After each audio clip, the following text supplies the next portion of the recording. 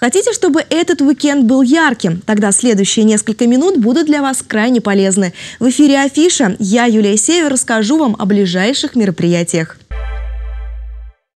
Актеры театра «Камерная сцена» приглашают вас на спектакль «Озерная фея». В деревушке на берегу озера живут Пэт и Мэри. Они любят друг друга, но очень бедны. На свадьбе им нечем угостить своих соседей. Беде помогает добрый Патрик. Он дарит влюбленным волшебные кольца. Но из-за его подарка они оказываются на дне заколдованного озера, в гостях у феи. После нелегких испытаний героям удается победить коварную фею и вернуться домой. Любовь побеждает все.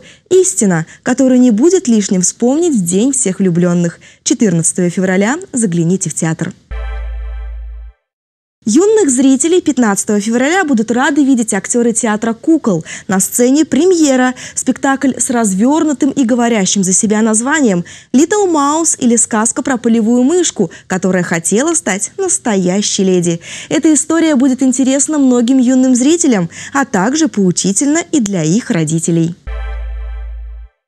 Театр имени Горького 15 февраля будет удивлять музыкальной феерией «Алые паруса». Это волшебная и знакомая многим история возвращает нас к юности, мечтам и первой любви, заставляя верить в то, что чудеса все-таки бывают.